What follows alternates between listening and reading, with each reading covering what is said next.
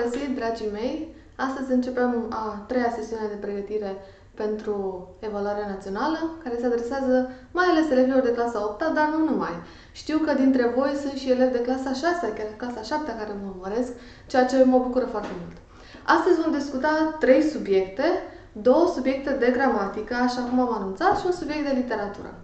Subiectul de gramatică cu care vom începe este propoziția subordonată atributivă și vom vedea împreună cum o recunoaștem, care sunt elementele regente, care sunt elementele care o introduc, numite și elemente de relație și, de asemenea, vom vedea cum construim atributive ușor, astfel încât să putem răspunde la exercițiul uh, de la subiectul al doilea, exercițiul 6 de la subiectul al doilea de la uh, uh, examen.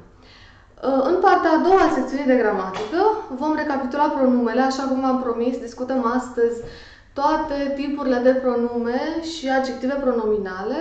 Vreau să vedem exemple, vreau să vedem cum facem distinția între pronume și adjective pronominale pentru fiecare situație în parte. De asemenea, uh, încheiem cu partea de literatură, unde vom discuta a doua specie a genului liric, pastelul, Vom vedea care sunt trăsăturile pastelului, uh, cum le aplicăm pe un text, un text la prima vedere și veți avea și o compunere. Înainte să începem uh, propriu-zis uh, sesiunea, vreau să vă anunț că săptămâna aceasta vom avea trei cursuri. Pe lângă cel de astăzi vom mai avea încă două cursuri. Da? Astăzi discutăm atributiva, pastelul și pronumele.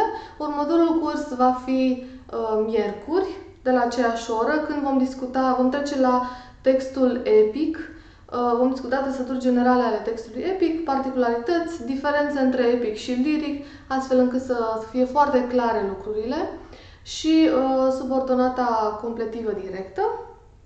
Iar vineri uh, începem uh, să discutăm aspecte mai uh, aplicate pe textul epic, caracterizarea de personaj și rezumatul, iar la gramatică uh, propoziția completivă, subordonată completivă indirectă. Dacă aveți și alte subiecte pe care vreți să le abordăm săptămâna aceasta, aștept propunerile și sugestiile voastre și le voi lua în considerare. De asemenea, la sfârșitul săptămânii uh, veți avea un test, voi elabora un test pe gramatică, doar pe partea de gramatică, pentru că știți că ultima temă pe care ați avut a fost o temă de literatură. Astăzi, de asemenea, veți avea o temă de literatură și atunci Vreau să verificăm și să, să lucrăm și pe partea aceasta de gramatică. Deci așteptați-vă la, la, un, uh, la un test de evaluare pe care să vi-l trimit la sfârșitul săptămânii vineri. De asemenea, aștept să mi le trimiteți, să scanați rezolvările voastre și să le corectez, să vă ofer feedback, astfel încât să putem progresa împreună. Bun, și acum trecem la treabă. Timpul zboară și mai ales când te distrezi. Începem cu propoziția subordonată atributivă.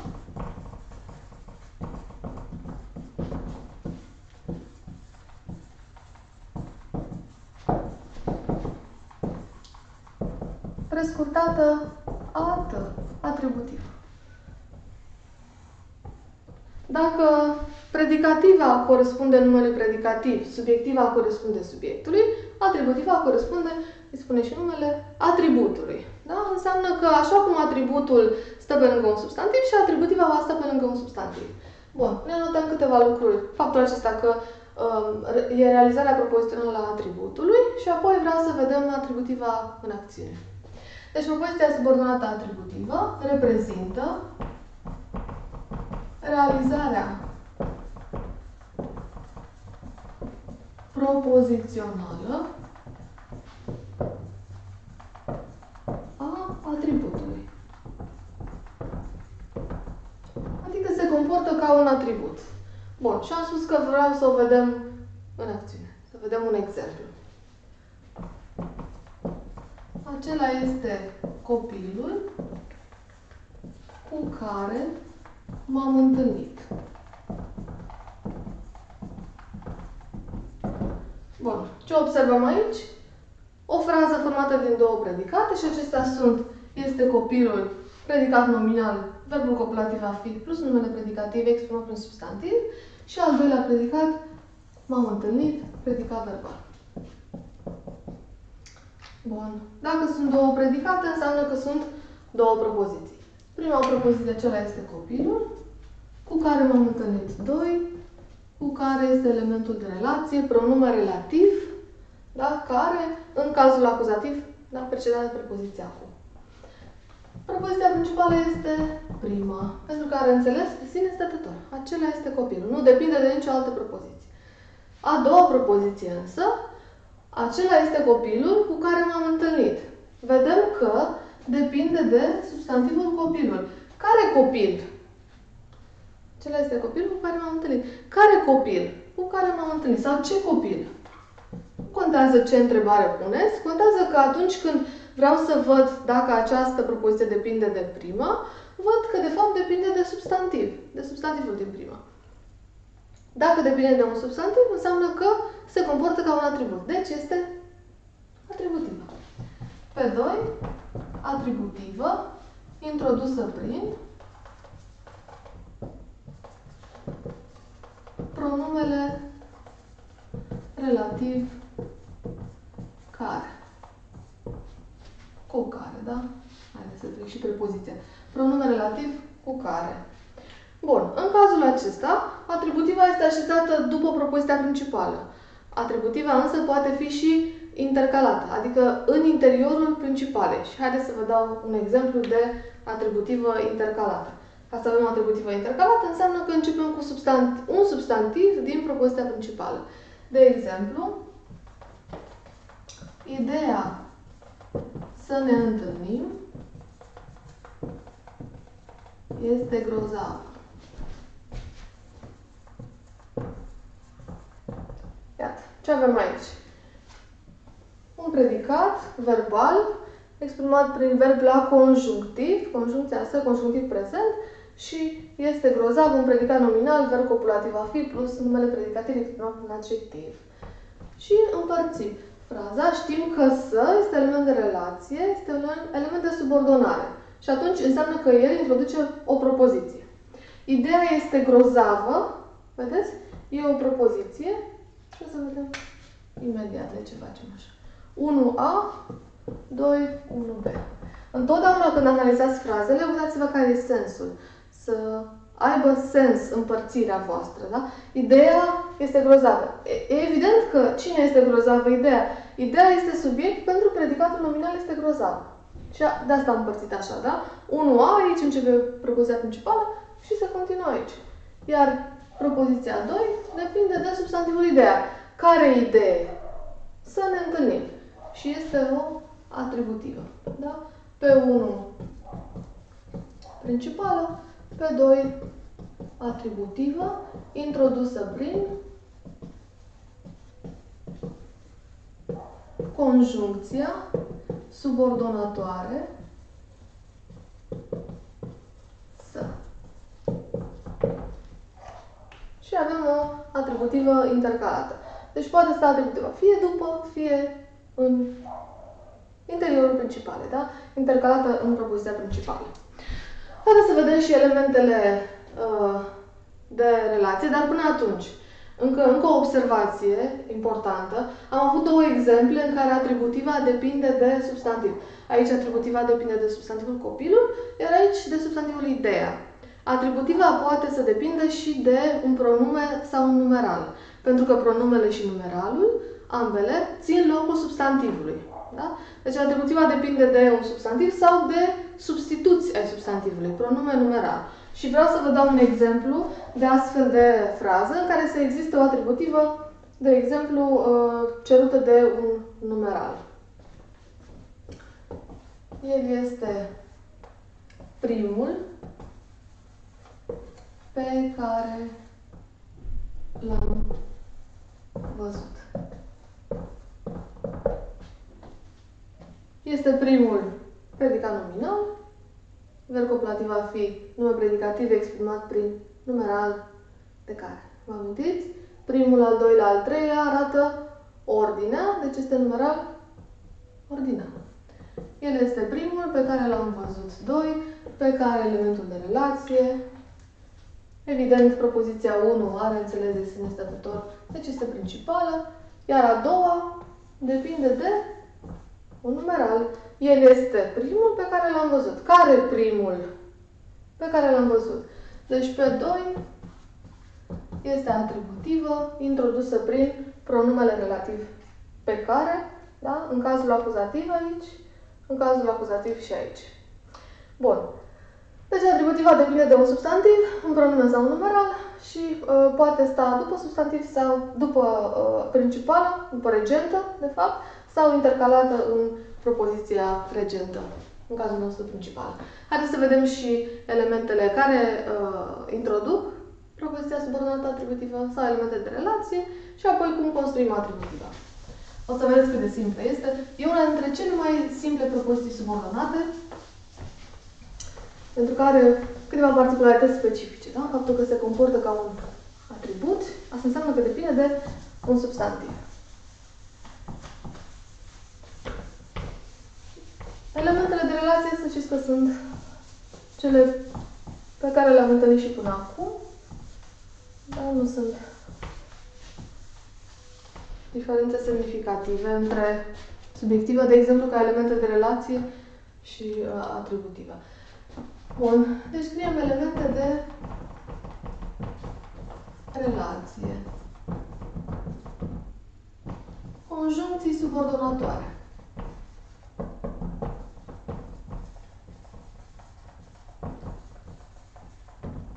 Aceleași. Că, să, dacă, cu varianta de și ca, puncte, puncte, să. Acolo, între ca și să, mai apar niște cuvinte. Da? De exemplu, propunerea ca noi să mâncăm prăjituri este grozavă, da? Uh, da? Deci între ca și să mai apare, mai apare anumite De obicei apare subiectul din uh, propoziția subordonată. Bun, pe lângă conjuncții subordonatoare, adverbe relative, le-am mai discutat de multe ori, când, unde, cum, cât,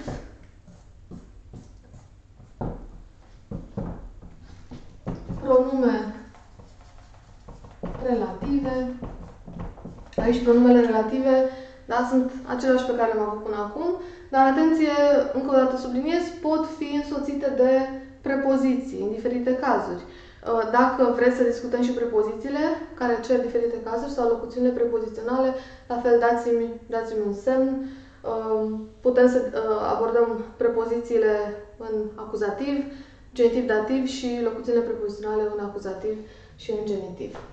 Deci pronume relative care, cine, ce, cât, cui. Atenție să nu confundați cât adverbul, uh, cât pronume, adjective pronominale relative. Încă o dată, dintre acestea, doar care, ce și cât pot fi adjective, pentru că doar ele pot fi urmate de un substantiv nearticulat și încă o dată substantivul acesta trebuie să fie după, da? După cuvântul nostru pe care îl considerăm adjectiv. Care copil, ce copil, câți copii. Pronume și adjective pronominale.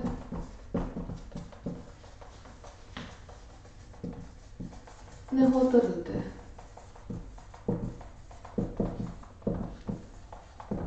Orice, oricare și așa mai departe. Bun. Haideți să vedem și cum construim atributive cel mai ușor și încheiem subiectul atributive cu analizarea unei fraze. Haideți să ștergem și aici jos. Las elementele de relație, pentru că ne ghidează să construim atributivele. Diverse atributive. Dacă țineți minte, când am discutat subordonata predicativă, v-am indicat atunci câteva subiecte pe care le puteți folosi Uh, le puteți integra în propoziția principală, da? Și aveam subiecte și subiecte vagi, de tipul întrebarea, ideea, sugestia, propunerea, propunerea, dorința. Le foloseam, da? Începeam enunțul cu acest, unul dintre aceste subiecte, verbul copulativ, elementul de relație și un predicat. Și asta era schema.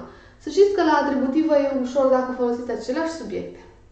Doar că eliminăm verbul copulativ, bineînțeles. Da? Deci o să spunem așa. Construim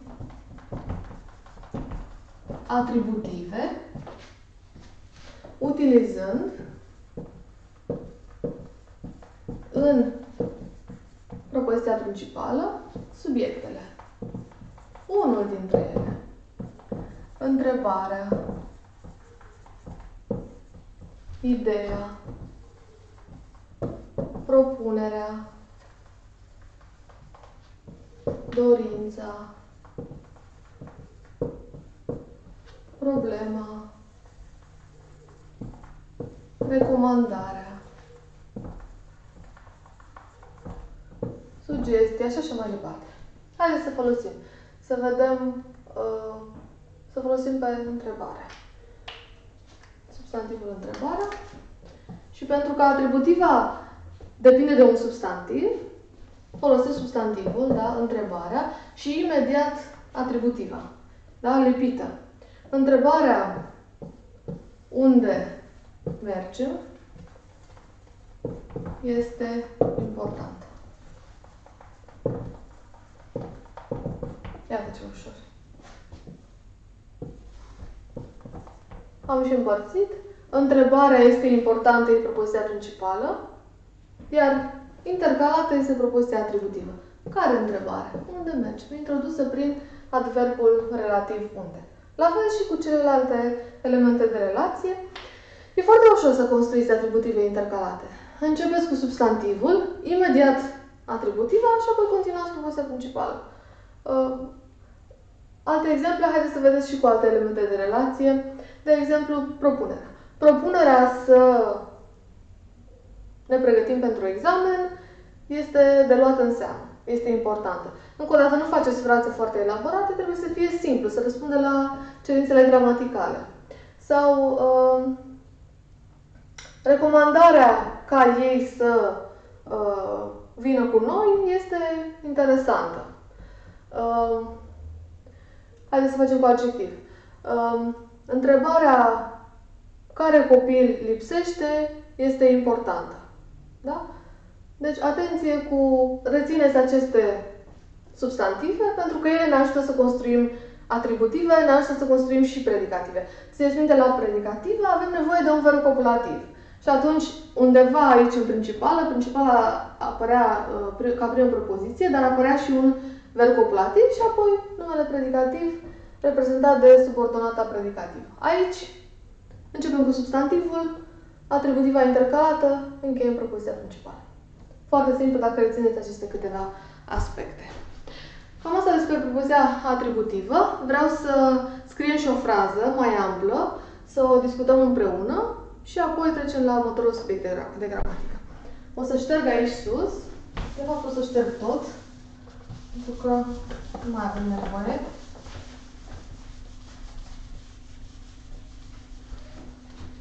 Haideți să ne ușurăm munca.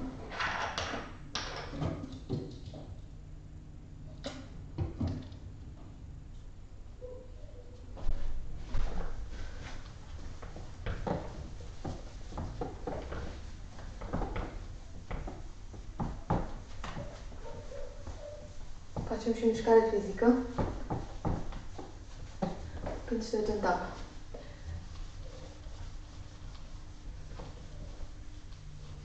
De regulă, la examen aveți fraze din texte literare și sunt fraze mai ample.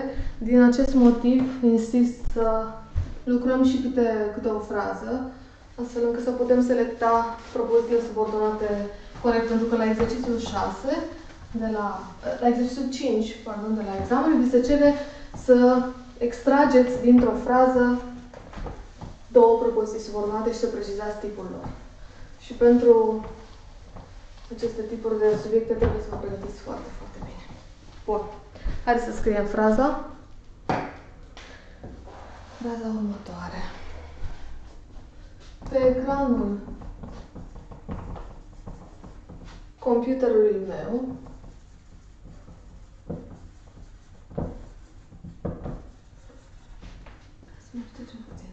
pe ecranul computerului meu, în fața căruia lucrez,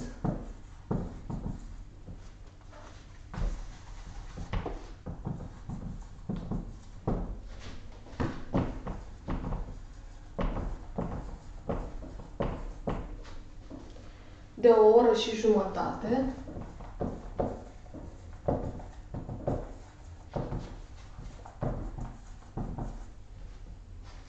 Văd ultimele rânduri ale povestirii.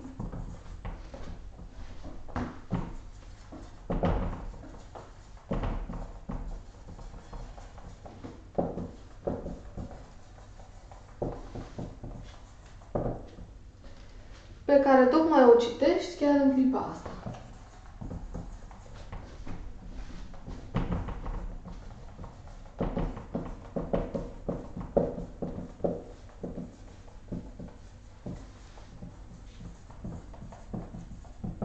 Este un fragment din Florin scrie un roman de Mircea Cărtărescu. Bun. Computerul lui. Ce facem când avem o frază amplă?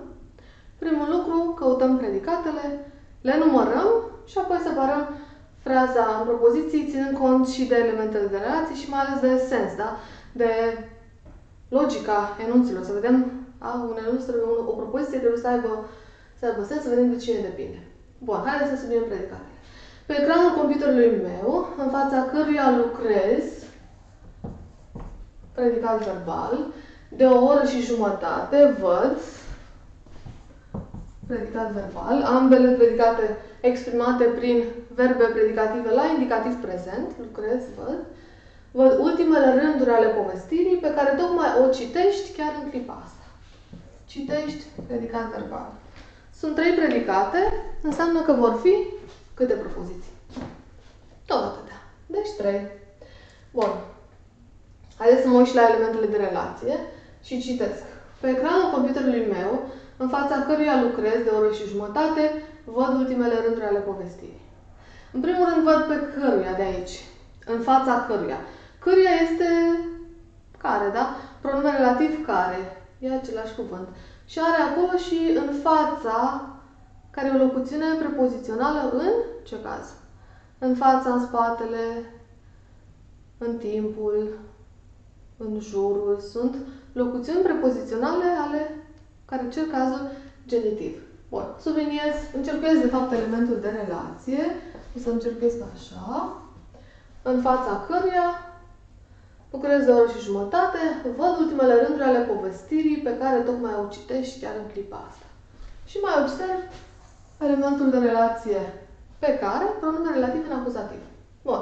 Și atunci am găsit două elemente de relație, în fața căruia este pronume relativ în genitiv, fiind însoțit de locuțiunea prepozițională în fața, și al doilea element de relație este pronume relativ care în cazul acuzativ. Bun, și am încheiat elementul de, elementele de relație. Haideți să vedem, să vedem care e propoziția principală, pentru că am aici o problemă. Văd așa, pe ecranul computerului meu și aici începe propoziția a doua. Și marchez. Pun aici o bară, în fața căreia lucrez de o oră și jumătate, pun aici o bară. Pentru că am un predicat aici. Da? Și atunci, pe ecranul computerului meu aici începe propoziție, 1A, dar nu se încheie pentru că predicatul nu este în secțiunea aceasta. Da, și caut predicatul acum. Pe ecranul computerului meu, ce fac pe ecranul computerului meu? Văd. Văd ultimele rânduri ale povestirii. Este 1B. Da? Deci propoziția 1 este pe ecranul computerului meu, văd ultimele rânduri ale povestirii. Mai am propoziția în fața căruia lucrez de o oră și jumătate, este 2.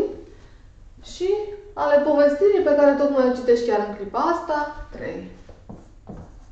Bun, și observăm că propoziția a doua este intercalată, da? Este așezată în interiorul primei propoziții. Care e principala acum? Principala este aceea, propoziția aceea care are înțeles de sine stătător. Are înțeles de una singură, nu depinde de nimeni. Care ar fi? Care credeți? 1, 2 sau 3? E 1. Pe 1, propoziție principală. Și vedem că, evident, nu are niciun element de relație, da? Pe ecranul computerului meu văd ultimele rânduri ale povestii. Pe 2. Pe ecranul computerului meu, în fața căruia lucrez. De cine depinde propoziția 2? Cum întrebăm? Pe ecranul computerului meu, în fața căruia lucrez. Întrebăm așa. Care computer? În fața căruia lucrez. Deci 2 depinde de un substantiv din propoziția 1. Dacă depinde de un substantiv, înseamnă că este atributivă. Introdusă prin pronume relativ în fața căruia.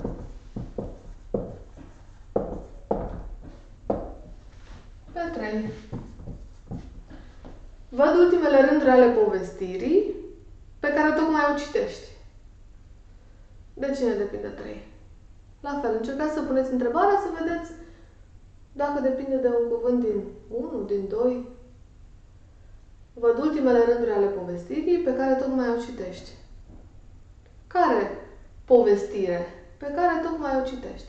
Deci propoziția 3 depinde de... Cum se face? O să facem așa. Depinde de cuvântul povestire. Care povestire? Pe care tocmai o citești. Povestire este substantiv. Dacă depinde de un substantiv, înseamnă că e atributivă, introdusă prin, la fel, pronume relativ pe care. Bun, și atunci, 1 e principală, 2 depinde de 1 și atributivă, 3 depinde de 2 și atributivă. Bun, am analizat și fraza aceasta. Uh, sper că lucrurile sunt limpezi la atributivă. Dacă aveți alte întrebări despre această propoziție subordonată, vă rog să le adresați. Nu ezitați să-mi trimiteți și uh, mail-uri, mesaje în care să uh, mă întrebați lucruri specifice. Vă răspund cu mare, mare drag. Trecem la următorul subiect de gramatică. Și acest subiect de gramatică este reprezentat de pronume. Vom discuta împreună tipurile de pronume, toate, multele tipuri de pronume și adjective pronominale. Sper să nu obosiți. Um, sper că um, e o lecție extrem de importantă și aș vrea să vă, să vă rețin cât de mult pot concentrarea aici, pentru că nu vă ajută doar la gramatică, doar la recunoașterea valorii morfologice a unui cuvânt, vă ajută și la uh, mijloace de îmbogățire a vocabularului, de exemplu, la conversiune. E extrem de importantă distinția aceasta între pronume și adjectiv pronominal, dar mai ales vreți să știți ce fel de pronume avem, uh, cu ce fel de pronume avem de a face. Uh, să știți că am avut și aici niște cuvinte și aș vrea să, la un moment dat, aș vrea să mă întorc la acestea în discuția noastră despre pronume. De exemplu, Până șterg eu tabla, aș vrea să vă gândiți ce valoare morfologică are cuvântul acesta, meu. Și să ghiciți, să vedeți dacă... Și mai, mai departe împreună o să vedem dacă ți-am dreptate sau nu. De asemenea, asta. Să-mi spuneți ce valoare morfologică. Adică ce este ca parte de vorbire? E pronume? E adjectiv? Ce fel de pronume? Ce fel de adjectiv? La fel și pe care. Gândiți-vă ce funcție sintactică are. Am văzut că e pronume relativ, am văzut că e acuzativ, ce funcție sintactică are? La fel și O. Ce este ca parte de vorbire și ce funcție sintactică are. Bun, deci vă las patru cuvinte la care să vă gândiți și între timp ștergem tabla și trecem la pronume.